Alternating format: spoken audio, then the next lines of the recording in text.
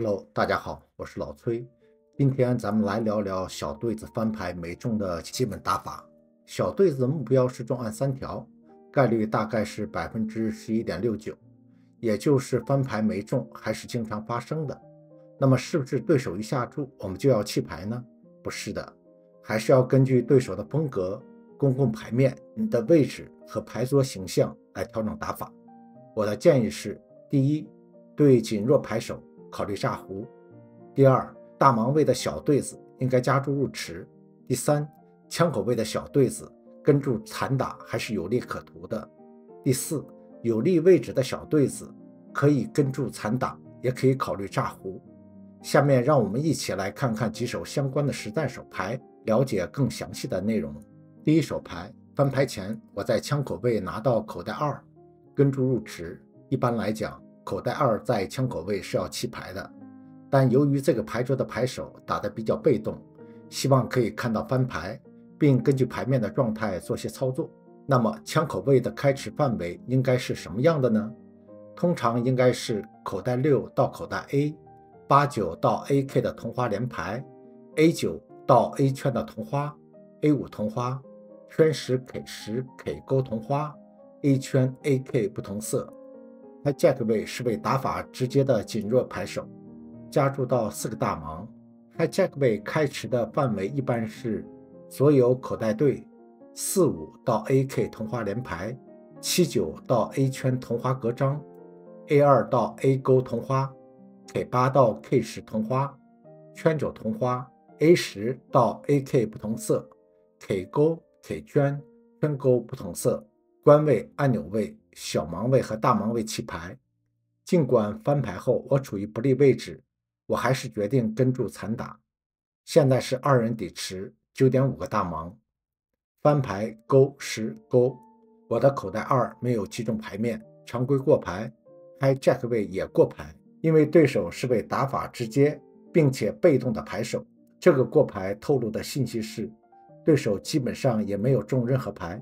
转牌红桃五。对牌面没有什么影响，我还是选择过牌。如果对手过牌，那么对手的范围可能缩小到 A K A 圈 K 圈，我在河牌下注拿下底池的几率还是很高的。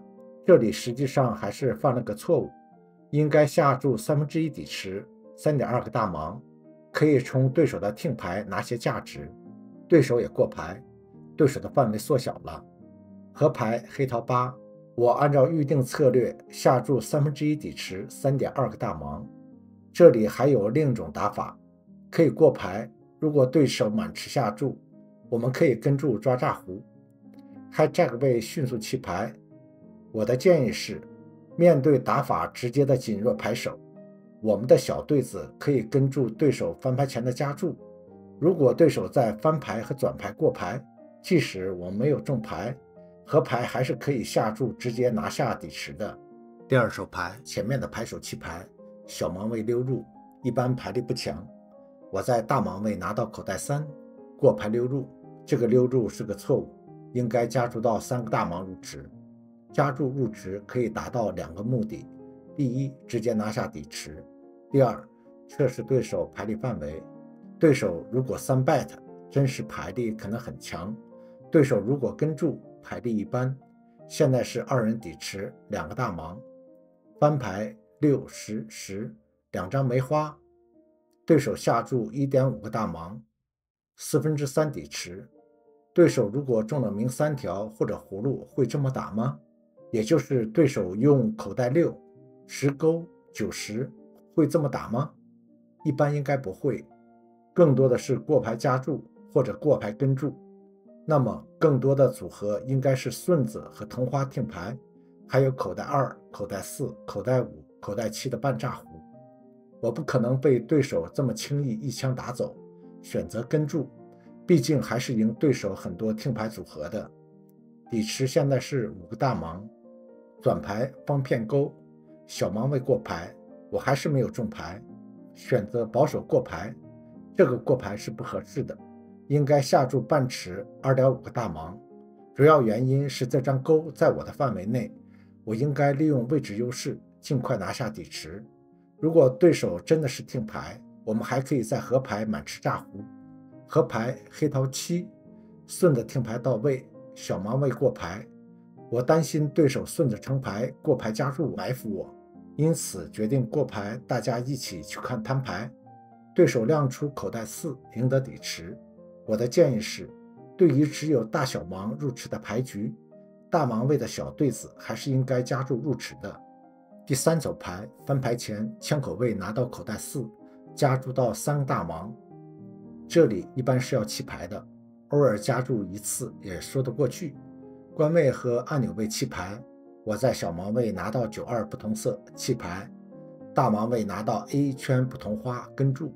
面对枪口位的加注，大盲位的跟注范围是口袋二到口袋勾，七八到 K 圈的同花连牌，七九到 A 勾的同花，A 二到 A 六同花。K 五、K 六同花，九六同花，十勾以上不同色。现在是二人底池，六点五个大盲。翻牌三三七，两张黑桃，大盲位领先下注二点二个大盲，三分之一底池。这个领先下注代表了什么呢？三分之一的下注尺度又代表什么呢？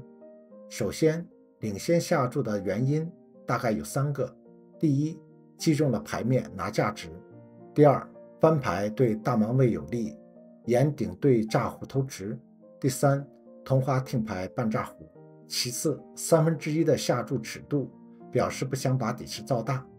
对于原因一，目前可能的范围是口袋勾、口袋十、口袋九、口袋八，大对子的组合是被排除掉的。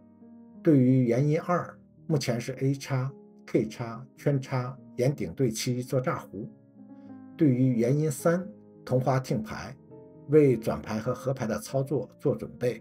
从我的角度来看，原因二和原因三所占的比例更大一些。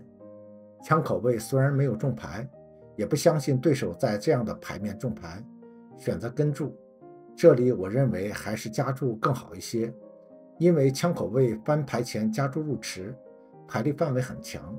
在这样的牌面，枪口位有更多超对的组合。底池现在是十点九个大盲，转牌梅花十，大盲位持续下注半池，五点五个大盲。我不太认同这个下注尺度，三分之一底池更像是拿价值。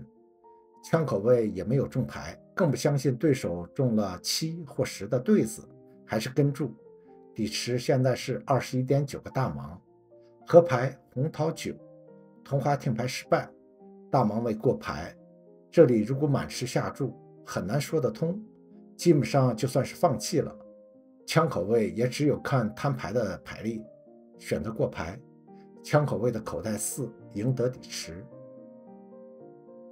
我的建议是，枪口位的小对子，针对盲位翻牌前的跟注操作，翻牌后只要是中小牌面，跟注残打还是有利可图的。注意。要关注对手三条埋伏的可能性。第四手牌翻牌前，我在官位拿到口袋五，常规加注到二点五个大盲，按钮位弃牌，小盲位加注到八个大盲。对于官位的加注，小盲位的三 bet 价值加注范围是口袋十以上的对子，A 十到 AK 的同花，K 圈同花，AK A 圈杂色。三 bet 炸胡范围是。口袋四到口袋九，A 二到 A 九的同花，四五到九十的同花连牌，九勾到 K 勾同花，A 勾 K 圈杂色，大盲位弃牌。我在官位的开始范围落后于小盲位的三败的范围，好在翻牌后我处于有利位置，口袋五还是可以跟注的，我选择跟注看翻牌。现在是二人底池，十七个大盲。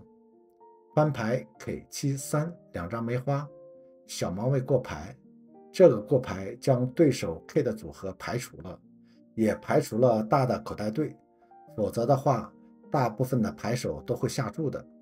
另外，目前的打法，很多牌手即使没有中牌，也会持续下注的。对手可能会用顶对或超对过牌埋伏我们吗？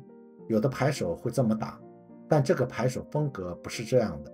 对手的牌力范围缩小到了中对子，A 圈、A 勾、圈勾到圈九，我也没有中牌，既可以加注，也可以过牌。我选择保守的过牌。基本的策略就是，如果转牌不出现同花或其他危险牌，应该会跟注残打到底。转牌方片 K，对手下注五个大盲，接近三分之一底池。对手的下注尺度使我把对手的牌力放到了炸胡范围。虽然我没有中牌，但还是领先对手的炸胡范围。按照预定策略跟注，底池现在是二十七个大盲。河牌红桃六，同花听牌失败，虽然有了顺子成牌，但不在对手的范围内。小盲位过牌，我也没有别的选择，只能过牌。大家一起看摊牌。小盲位亮出 A 圈不同色。我的口袋对赢得底池。从这手牌中，我们可以看到有利位置的小对子，根据对手的位置，翻牌前的下注尺度，可以确定对手的初始范围。翻牌对手过牌，缩小了对手范围，可以考虑后续策略。转牌和合牌，根据牌面可以跟住残打，也可以考虑炸胡。这里要注意的是，要评估对手顶对或超对过牌埋伏的可能性。你对小对子翻牌没中有什么建议？欢迎大家在评论区留言讨论，也请大家关注、点赞、转发，谢谢支持，我们下期视频见。